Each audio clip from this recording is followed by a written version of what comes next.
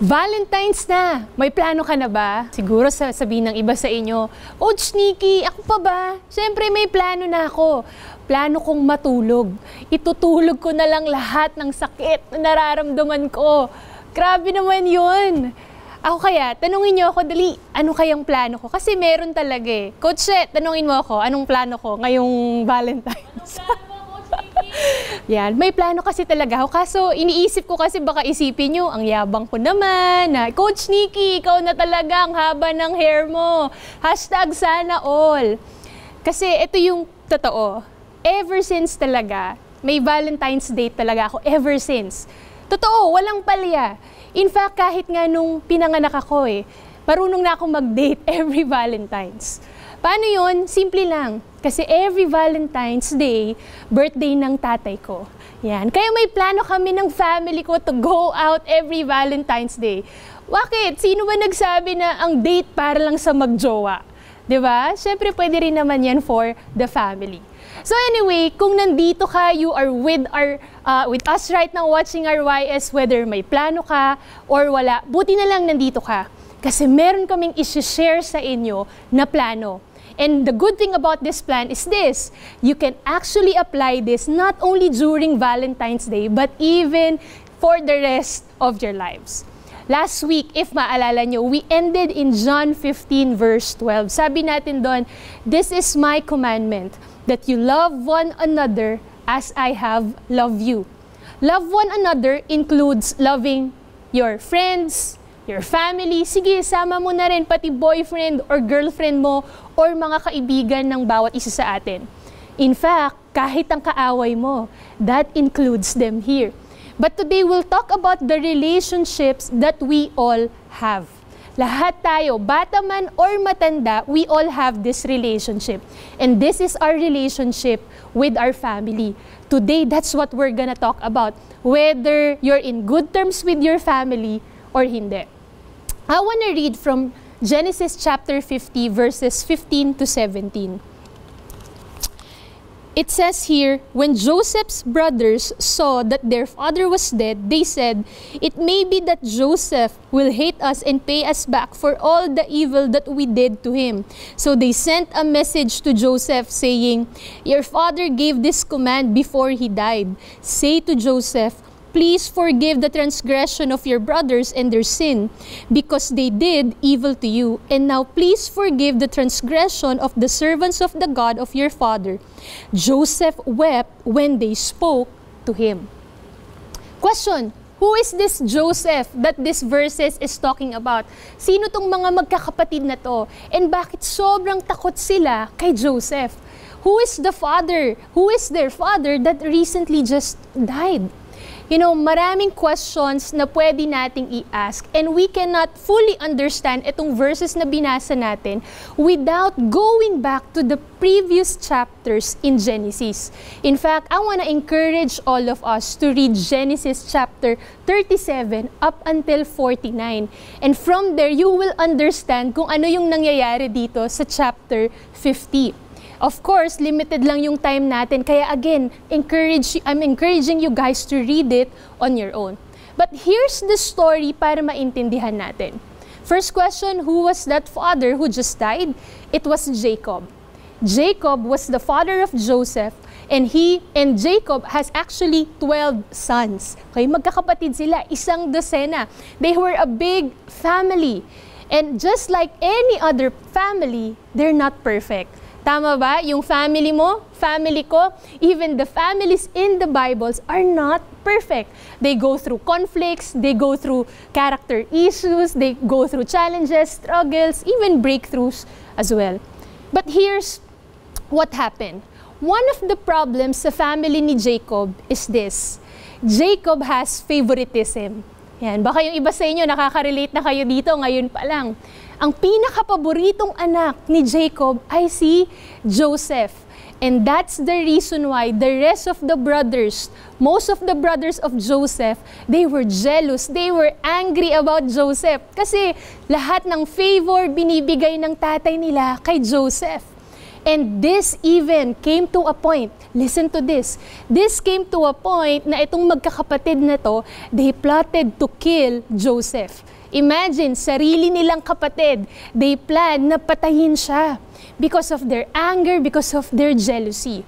But during that time, instead na patayin nila si Joseph, nagbago yung plano nila. Ang ginawa nila, binenta na lang nila si Joseph sa mga Ishmaelites.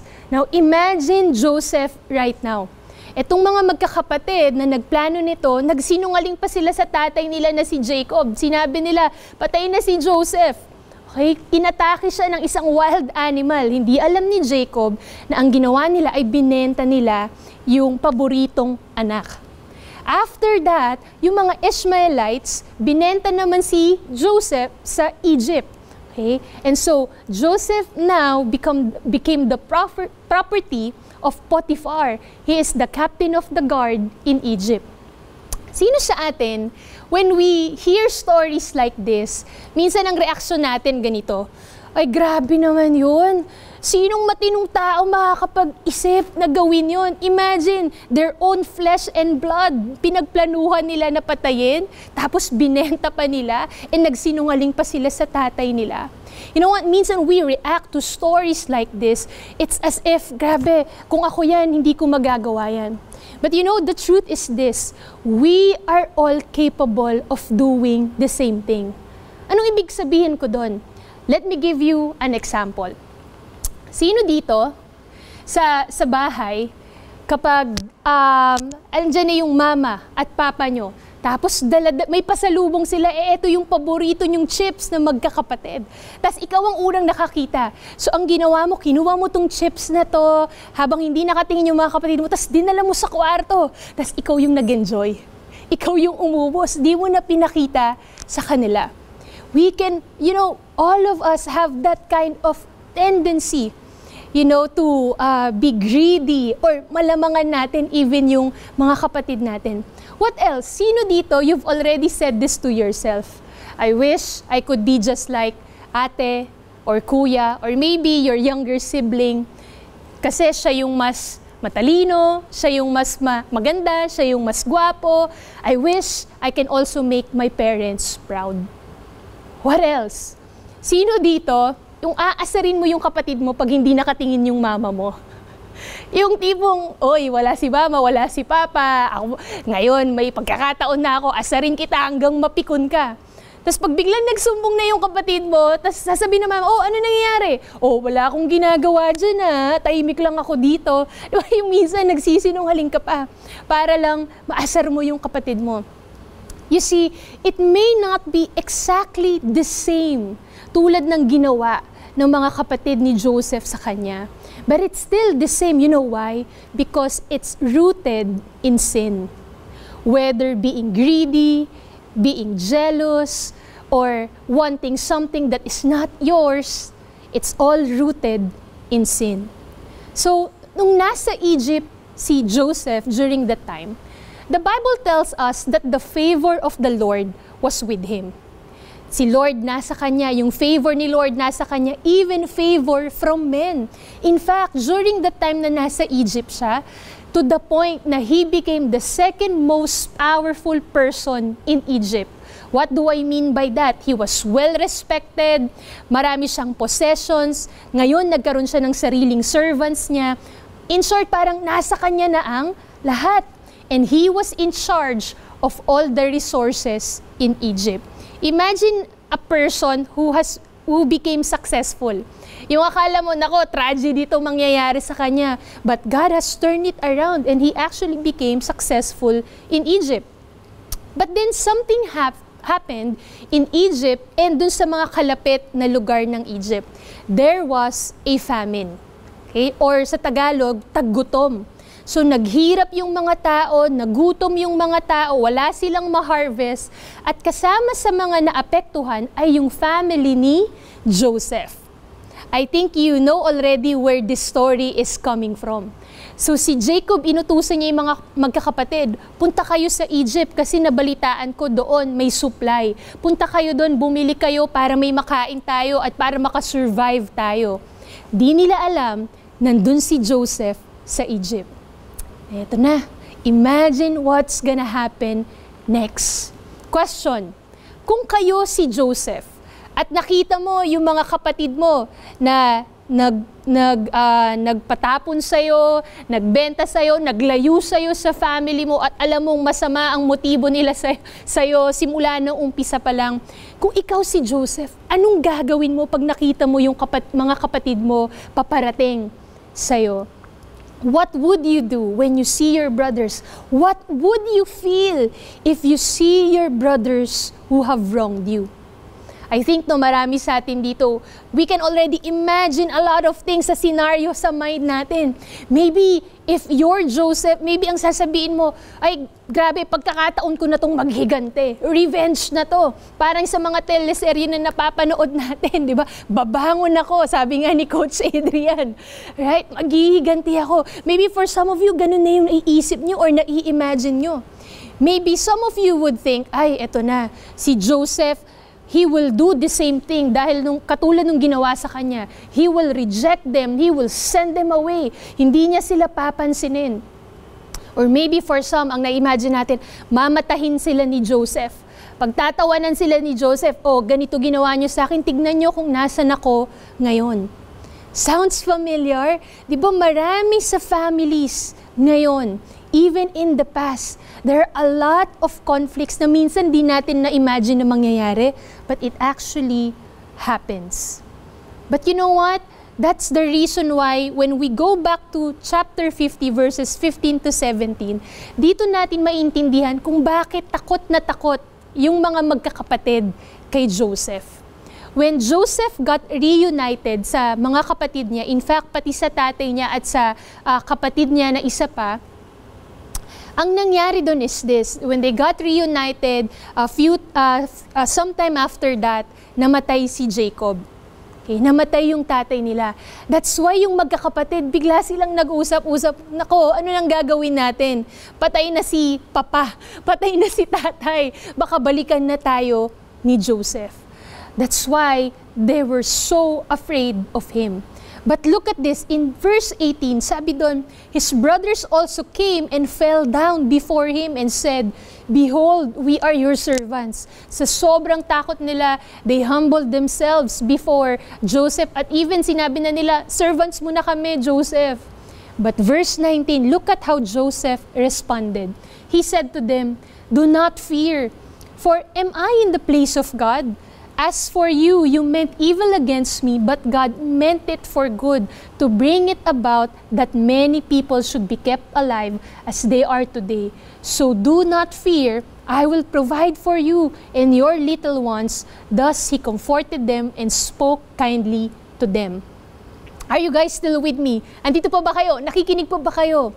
Look, look at what's happening right now. Grabe yung story ng family na to. What does this story in the Bible tell us about our families today? Here are some of the things that I want to share to all of us. Number one is this sin destroys our family. Ang kasalanan ang sumisira sa ating pamilya. Jacob has favoritism. Masyado niyang paborito yung isa niyang anak compared to other brothers and sisters. Second is this, the brothers were very jealous. Yun yung sin sa heart nila. They were greedy, they were prideful, and that made them do what they did to Joseph. Kala nyo si Joseph walang kasalanan, he also has sin. You know what? Do you know that Joseph was also prideful? Masyadong ma-pride si Joseph. He's actually no hero sa story na to. Nagkakamali kayo kung ang iniisip nyo si Joseph ang bida sa story na to. No. And I'll tell you more about that later. You see, when we look at our families, in fact, when we look at your own heart, yung buhay mo, yung puso mo, what are the sins that God is exposing in your heart? What are the things that sins that God is exposing in your family? Let me tell you this, wag nating mamaliitin ang kasalanan. You know why? Because it has the ability to destroy your relationship with your mom, with your dad, with your brother, with your sister, or even to our other relatives. If hahayaan natin yung kasalanan na maghari sa puso natin, it will destroy our relationship with our family. If hahayaan natin na ang kasalanan ang manguna, instead of surrendering our lives to God, talagang it's gonna be very problematic. We should hate sin. I want to tell this to all of us. Listen to this, everyone. Hindi ang tatay mo, hindi ang nanay mo, hindi ang kapatid mo ang kalaban mo. Hindi sila ang kaaway. Alam mo kung sino ang kaaway? The real enemy is Satan himself. Ever since the beginning, the plan of Satan is to destroy every family. Just look at Genesis. Just look at the life, the family of Adam and Eve. Sin destroyed their family. If, I don't know if you realize this, by the way. Kung mapapansin nyo, family is the only relationship na hindi natin pinili. Our families are God-given. Our families, it's God Himself who has given them to us. Wala tayong choice. And that's why the enemy wants to destroy our relationship with our families. Alam niya na galing kay God tong relationship na to. That's why the second point is very important. That every family needs God. Ang bawat pamilya, kailangan natin si God sa buhay natin. You see, there's no perfect family. Yes or no? Kahit yung mga family na nakikita natin sa TikTok, sa IG, or yung mga nilulook up natin na family, whether that's a Christian family or not, there's no perfect family. You see, hindi natin standard ng isang matatag na pamilya kung ano yung nakikita natin sa social media. No, I hope that's not your standard of a strong family.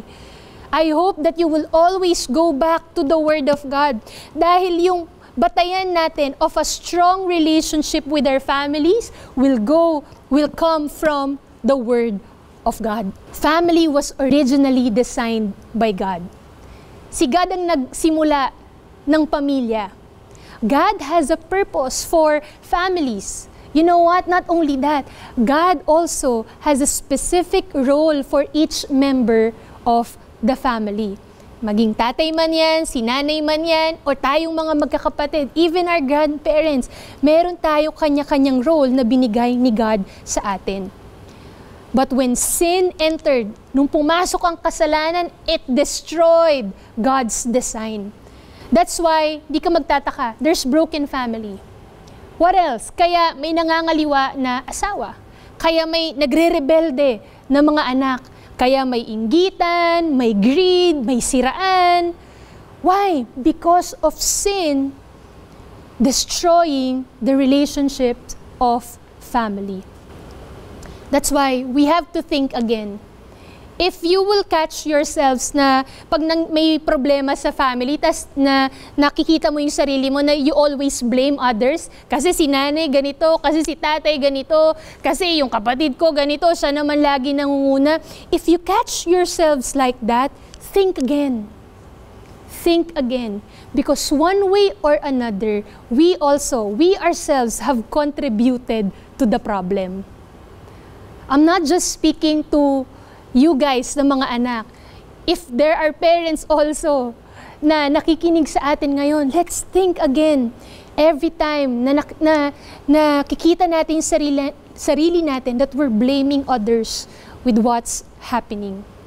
Again, that's why every family needs Jesus. Why? Because only Jesus Christ has the power to destroy sin in our hearts and sin in our family. In fact, He has already defeated sin when He died on the cross for us.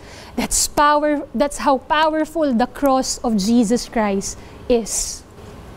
Grabe no, nakakagigil yung sin, nakakagalit yung sin because He's destroying our relationships with our family.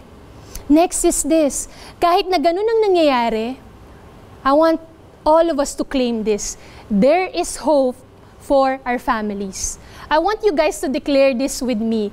There is hope for my family. May pag-asa ang pamilya ko. Declare it with me. You see, we can find this hope in God alone. Pag binalikan natin yung story ni Joseph, Joseph has all the reasons para hindi ma-reconcile sa family niya. He has all the reasons, in fact, all the resources para gantihan ang family niya or kahit yung mga kapatid niya. But when when uh, Joseph uh, came to Egypt, may ginawa si Lord sa puso niya. Sabi ko nga kanina, 'di ba? Joseph was actually a prideful person. Kasi during the time nung bata pa siya at kasama niya pa yung family niya, God has given him a dream, a vision that one day his whole family will bow down before him. But without knowing or understanding that vision, he he shared it. Uh, sinabi niya yun sa family niya. But it turns out it becomes like parang very prideful yung pagkakasabi niya, kaya lalong nagalit yung mga kapatid niya. Even yung tatay niya nagalit sa kanya. But when he came to Egypt, God did something in his heart. He went through a lot. Hindi lang magagandang bagay yung nangyari sa kanya sa Egypt, no? He was evenly uh, uh, accused, okay? wrongly accused, kaya siya nakulong during that time. But when everything happened to him, becoming separated sa, sa family niya, he saw and experienced how good God is in his life. God has taught him a lot of lessons. Alam niya na ang may hawak ng buhay niya ay ang Panginoon. He knew who God is in his life. Kaya nga sabi ni Joseph, di ba naalala niyo, verse 19, Do not fear, for am I in the place of God? Alam ni Joseph, ako ba, ako ba yung magja-judge sa inyo? Huwag kayong matakot, wala sa kamay ko na mag-bring ng justice, na mag, magbigay ng justice sa nangyari sa akin. He knew his place in the, in the presence of God. Sabi niya, verse 20, As for you, you meant evil against me, but God meant it for good. Sabi niya dito, to bring it about that many people should be kept alive as they are today. Joseph trusted God and His plans. Okay? He knew that na yung ginawa sa kanya ng mga kapatid niya, mali talaga, kasalanan talaga. But hindi yun yung mas nagmamatter sa kanya because what mattered to him most was the power of God to turn things around. Yun yung mas mahalaga kay Joseph. What the enemy meant for evil, God meant it for good. Ang ganda ng sinabi dito sa Tagalog Bible. Totoong nagplano kayo ng masama sa akin, pero pinlano na ng Diyos na magdulot iyan ng kabutihan. Pinlano na ng Diyos na magdulot iyan ng kabutihan. Question, kamusta family mo ngayon? Kamusta ka ngayon with your family? May hinanakit ba? Watak-watak ba? Gulo, ang gulo ba ng family nyo? It's so impossible to be reconciled. Are you just wishing that you're part of a different family na lang sana? Well, let me tell you this. God can, th- can turn things around. Don't give up on your family. Don't give up praying for your family. Ask the Lord, Lord, tulungan mo ko na mahalin yung family ko.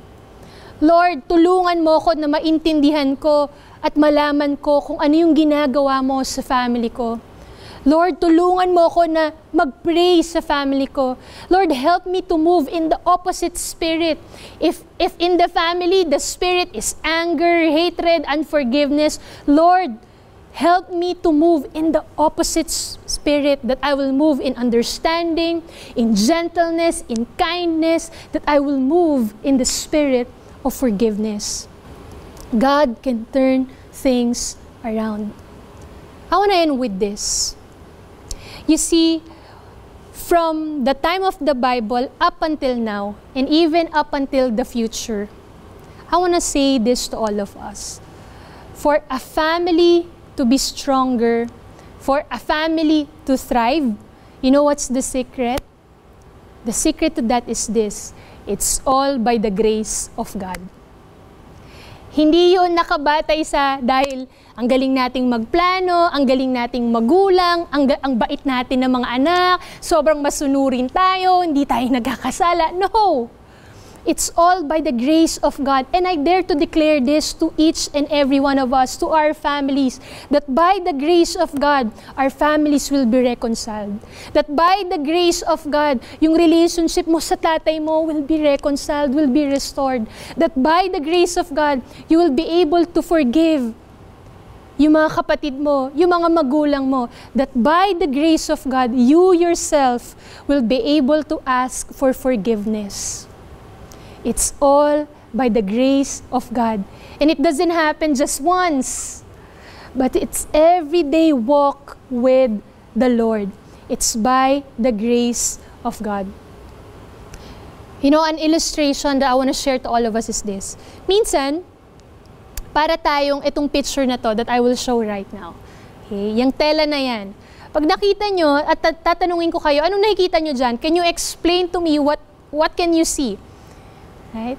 Many of you would say, it doesn't make sense, Ate Nikki. Wala akong maisip kung ano ba yung, uh, ano ba yung ibig sabihin niya ng nasa tela na yan. You know, sometimes when it comes to our lives, especially in our relationships with our families, there's a lot of things that we cannot understand. Sometimes we even ask God, Lord, bakit ba ganito nangyayari sa family namin? Di ko maintindihan. Bakit? Bakit kami pa? Bakit ganito? Sana hindi na lang. Sana sa iba na lang. You know, sometimes we don't understand, we, it doesn't make sense, the things that are happening to us. It's because most of the time, this is the only part that we see. But for God, it's different. Let me show to you this picture. Little did you know, ang ganda pala ng ginagawa ni Lord.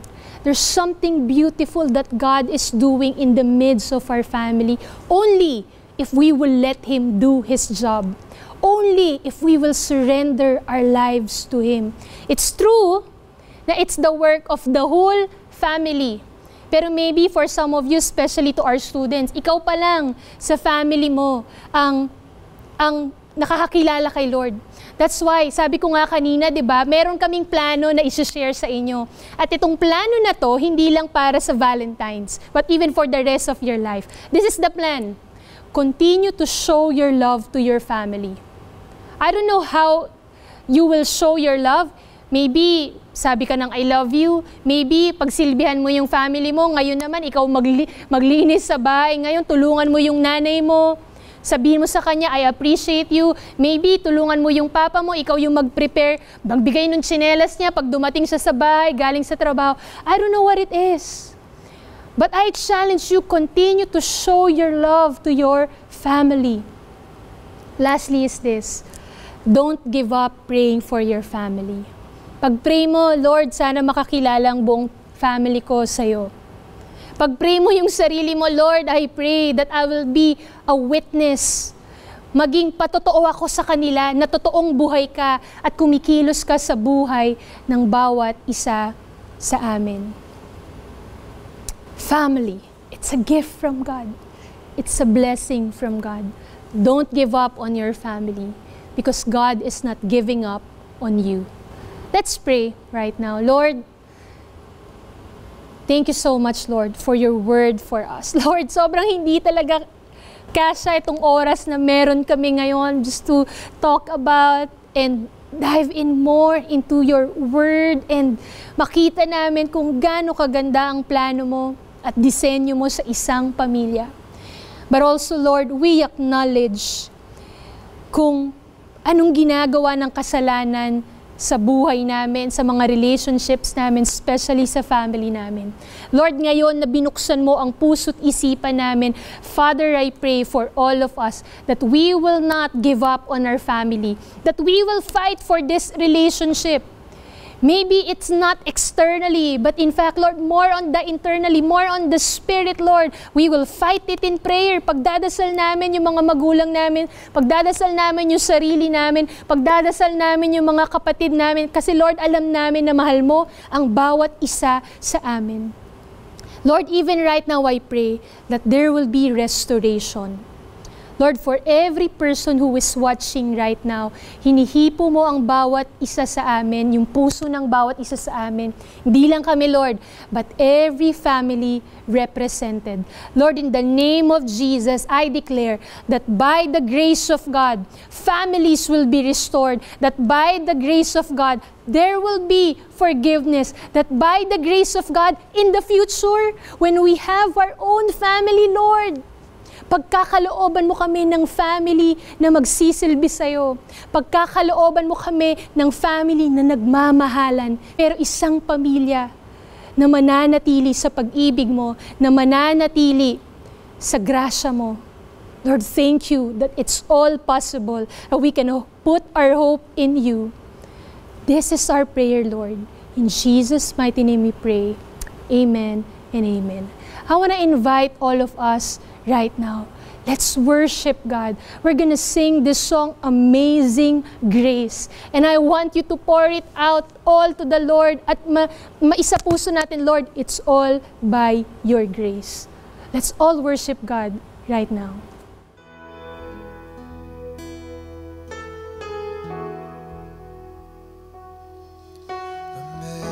Amazing grace, how sweet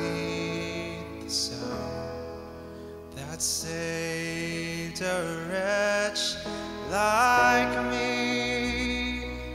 I once was lost, but now I'm found.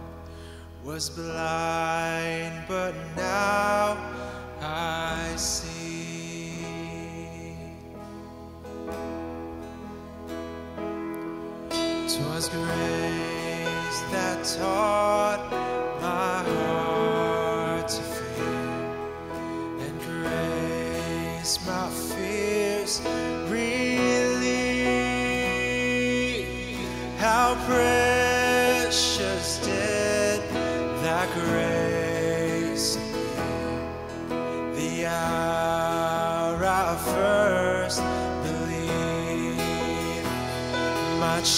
Chains are gone set free. My God, my Savior has ransomed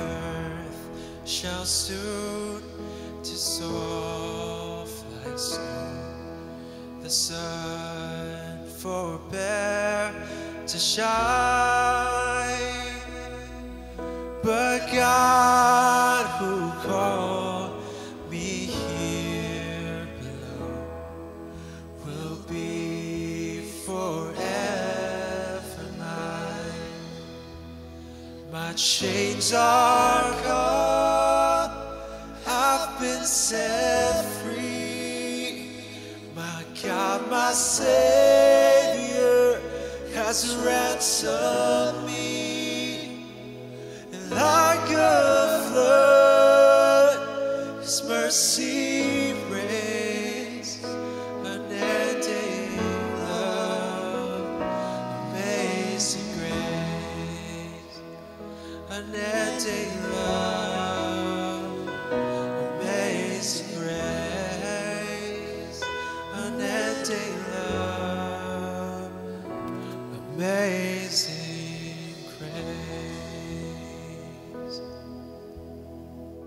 Lord, we thank you, God, for the powerful time of worship. Indeed, Lord, it's all by your grace. It's by your grace that we can be saved. It's by your grace na magkakaroon kami ng relationship sa'yo. And even those na wala pang relationship sa'yo, Lord, ine-extend mo yung grace na yon so that we will have a relationship with you through your Son, Jesus Christ. Not only to us, but also to our families, Lord. Maraming salamat, Panginoon. Tinatanggap namin ang pagmamahal mo at ang grasya mo. In Jesus' mighty name we pray. Amen and amen. You know, I don't do this all the time, but I want to say this. If you're here and you have been blessed by this message and you need someone to talk you to talk to, you need someone to pray for you, please do message us in our Facebook pages or kung saan mo man to nakita whether sa YouTube, please send us a personal message because we want to pray for you and we want to connect with you. God bless you guys, and I hope to see you even for the next two weeks as we continue to talk about love and relationships. Bye, everyone. See you next week.